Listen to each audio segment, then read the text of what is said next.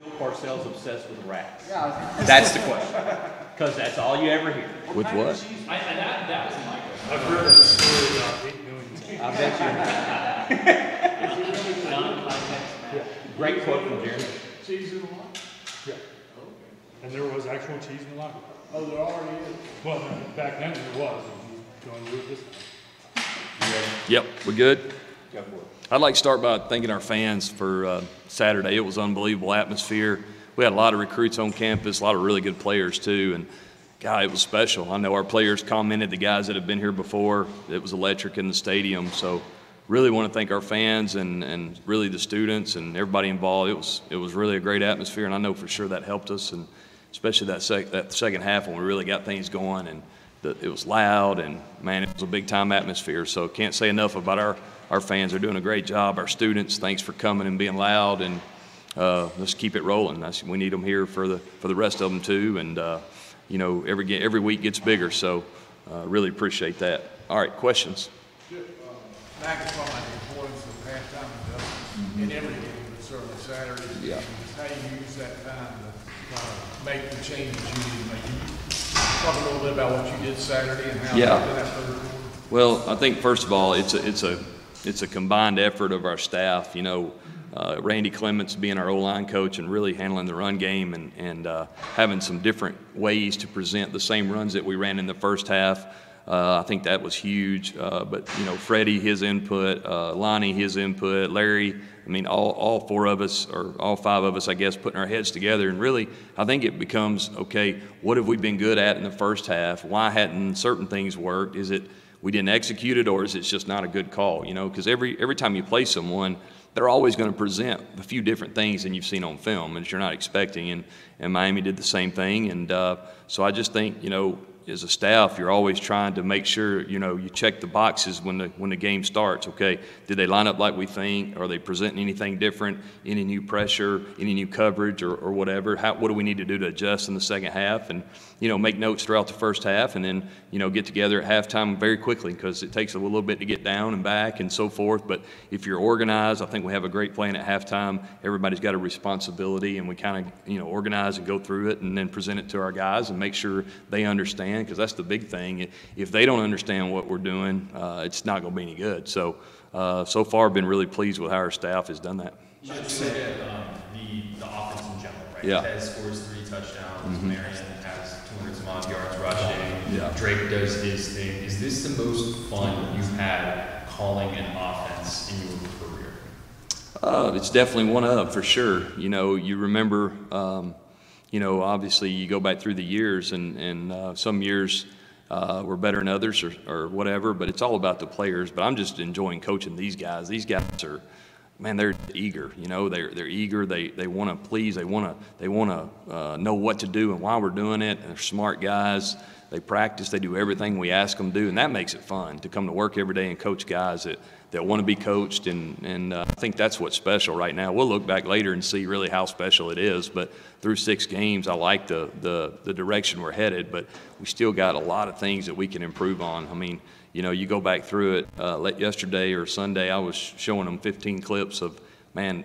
Miami didn't do anything here that we didn't think and we didn't execute for whatever reason. So you're always trying to clean that up and, and get better. And we got a lot of things we can improve on. And I think stuff like that's for, for later on down the road, looking back, you know, and seeing uh, what, what, what, we- what we did. But right now, we hadn't really accomplished anything other than, you know, we're in a good spot and we got to keep working every week. Kind of getting back to this halftime adjustments. Yeah. This year, you guys are outscoring teams 71 to 24 in the third quarter. What about this group makes them, I particularly good at responding to those adjustments and actually executing them, especially early on in the second half? That's a good question. I think a lot of it's our players. They're, they're smart guys. They, their football IQ is pretty high. I think our each coaches in their individual meetings during the week try to uh, explain the why of we're doing something, not just memorizing the play. I think that helps some too.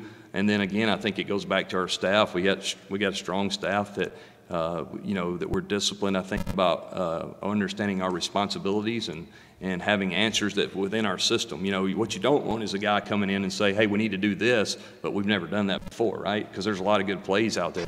So it's things that it fit in our system that fit what we're seeing. I think that's a big part of it. And you know, so far that's been good, and there'll be more challenges as we go, and we, we've got to stay f- focused and disciplined on, on those things as we move forward.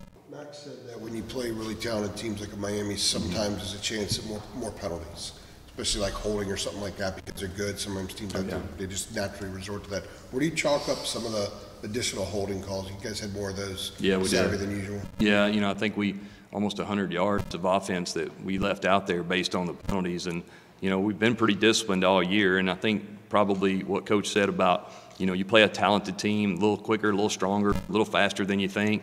Uh, it probably has something to do with it. But we got to go back this week and really coach our guys on what those penalties are and why we had those penalties. And most of the time, the penalties occur because we didn't get in the right position initially, right? And then we got we have to understand that we have to uh, when when you're losing and the guys you're losing your man, you got to let him go. And uh, you know some some uh, referee crews are are way way more way more aggressive throwing flags than others, and we got to adjust. And uh, they threw a lot of flags on both sides, I think, Saturday. And you know we got to do a great job as coaches of making sure our guys understand how, how big that is. As a follow-up to that, what you just Mm-hmm. said about letting it go, is JJ's hold kind of in that?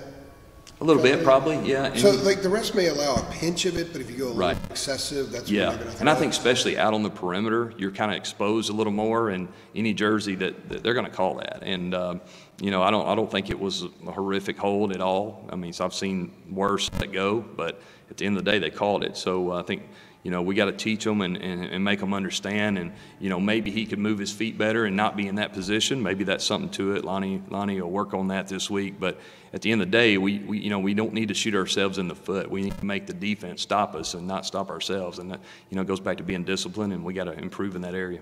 Chip, how, how, how do you see now with Kobe out for Mm-hmm. the foreseeable future? How do you see the mix working at wideout? Obviously, you only played the three guys basically. Mm-hmm. No, Doc got in there for a snap, but I mean, you have the tight ends to be creative. Like, Yeah. did, do you like how? Did you like how the usage looked Saturday night, or would you like to change that maybe a little bit? Yeah, just for I, I think? I think Lonnie and I talked yesterday. We we need to play more guys, and, and coach is always on us about that. And he's exactly right. We need to we need to we we have some depth at those wideout spots. Now, what's unique is we we've got three tight ends that can play. So a lot of times we've used those guys at 12 and 13 personnel. Uh, but we, we need to play more wideouts. I think Doc has done a nice job, and he's earned some playing time there. And and uh, so Lonnie made that point the other day. We don't need our, our those three guys playing all those snaps, and we'll work to doing a better job of that for sure. Um, you guys won the, you know, turnover battle for the, you know, or you had zero turnovers rather for the third time against Miami. Uh, Mack was in here saying that he actually likes to see more, I guess, points off of turnovers. From a practice standpoint, how do you kind of rep that, the so-called sudden change? How do you kind of, rep, you know, the quick turnarounds Yeah. off of turnovers? And, Yeah, you know, I, you know, we go back and look, and we, you know, it comes down to scoring in the red zone, I think, and you know, we scored, we didn't score enough touchdowns. Um, you know, when you get the, when the defense gives us the ball, you feel like it's a free possession. So we have to, you know, in a couple of those, we had some penalties that really, it goes back to those penalties that really shot ourselves in the foot and put us in long yardage situations, and we don't need to do that. I know, I think said's uh, interception comes to mind. We were down in that end of the red zone, and either the second and third play, we had a penalty that put us way back. Uh, that might have been the one we threw Tez on the touchdown. I can't remember, but I just know that's a part of it, being more disciplined. You know, when you put yourselves behind the chains, it makes it more difficult to score. And, you know, we've done that, unfortunately. Uh, we did that last uh, Saturday night, and we got to make sure that when we get those opportunities, we take advantage of them. Coach is right; it's a free possession in some in some case, really, if you think about it that way. And you know, the more we can take advantage of that, our defense keeps giving us opportunities, then I think the better we'll be. Much, when Miami declined that penalty, I think it would have made it second and 30, how much did that change what you would have done had it been second and 30 versus third and 20 there in that situation, or did it matter? I don't think so, just because it was so far. Um, you know, my thought was, can we get back in field goal range and get us a field goal? Um, you know, are they going to bring pressure or not? Which they didn't. You talking about the one where he threw to Tez? Is that yeah? So yeah, that my thought was, you know, that was about the same to me. Just had an extra down, so maybe you're not quite trying to throw it down the field as much, but uh, we executed it pretty good, and um, you know, it worked out. But you know, again, we put ourselves in that position with a, with a penalty. Gavin got dinged up and missed a couple of weeks. Mm-hmm. Is, has he worked his way back, or is there another reason maybe why he's? No, he's worked his way back. I think he's, uh, you know, I think he's lingered some, you know, getting himself back with, you know, with his situation. But uh, I think, I think you'll see more of him as we go. I just think, you know, you know, there's a whole protocol about practicing and, and, you know, um, those guys uh, exerting themselves in practice and how their body reacts. And I think, you know, some days have been better than others for that. But I think the more we go, the better, the more he'll play. As a follow-up, have you seen over time, just like each guy's different when they have what he had? It just, Yeah. there is no specific time. Yeah, I think so, now more than ever in this day and age. And we, ha- we have the technology so much better about, you know, testing those guys and, and, and seeing how they, everybody reacts different. And, uh, you know, he, he'll be back as soon as we can get him back going. Definitely, he's a guy that has a role. Yeah, Willie Lampkin in here last week, just, I mean, here's a guy that's not six three and three thirty. Yeah. How does he, how does he get it done in your You know, I think I think he plays. First of all, he, he practices and plays extremely hard. It's it's a uh, it's a it's it's personal for him. You know, he's motivates really self motivated. He does a great job with leverage and hand placement and fundamentals. He's really good on his feet.